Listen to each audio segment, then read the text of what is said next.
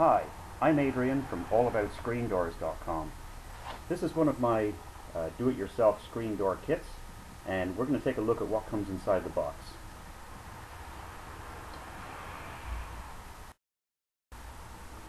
The first thing you have to do is carefully measure the size of the screen door that you need. Uh, I've got some uh, helpful tools on the website uh, to help you with determining how to measure your screen door. And please be careful when you're measuring the screen door because these are uh, these doors are custom cut exactly to the sizes that you require. Now here's uh, the components you get in the screen door kit. Uh, first of all, you've got uh, extruded aluminum uh, uh, screen door rails. You've got two short rails, and you've got two long rails. Those are the short rails there. The long rails, the vertical and the horizontal rails that make up your screen door.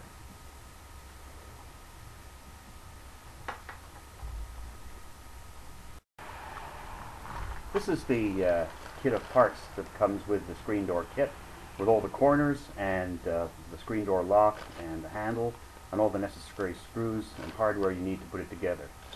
If you take a look, here's the lock uh, that's used for the inside of the door. You've got an extra handle if you want to use on the outside, although uh, there is a fin on the screen door which can be used on the outside for a handle all the way down.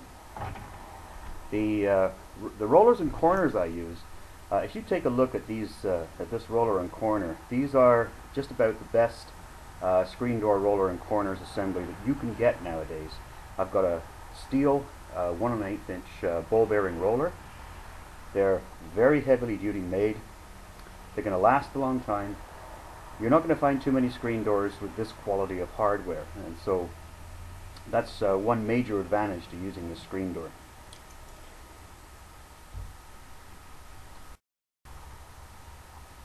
Once you get the screen door and you want to start putting it together, it's a very simple procedure. The only tool you need is pretty much a rubber mallet. Don't use a regular hammer because you're going to damage the screen door.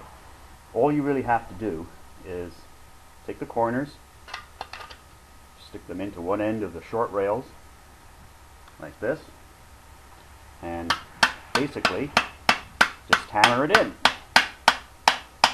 all the way until it's in like that.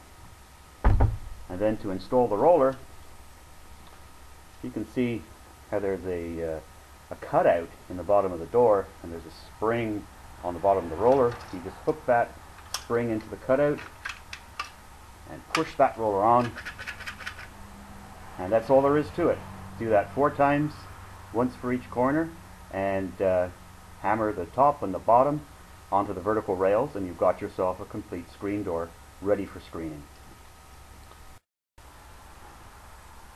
If you need help installing the screen door, you'll be able to take a look at uh, allaboutScreenDoors.com and find all sorts of helpful information on the different types of and methods that you can use to put screen doors in. The, uh, the screen door itself, there are a number of options. They come in white, they come in brown, they come in mill finish, and there are other colors available on request as well as other sizes. The uh, if you need any help with uh, installation, like I say, check out the website, allaboutScreenDoors.com. And if you find that these screen doors are useful to you, please order one. Thank you.